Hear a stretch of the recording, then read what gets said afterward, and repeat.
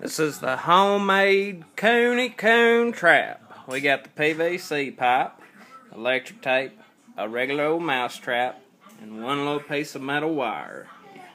I got a thicker wire because I figure the other one would be pretty flimsy.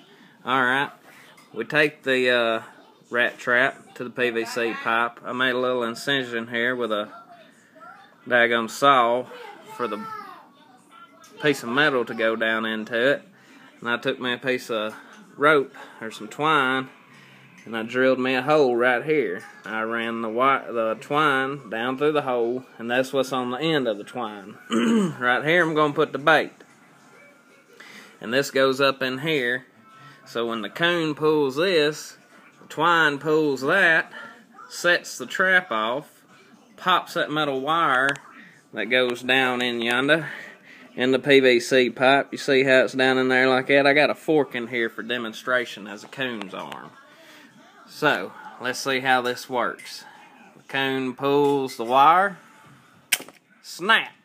Gots him! Yahtzee. Right there it is, boys. The homemade coon trap.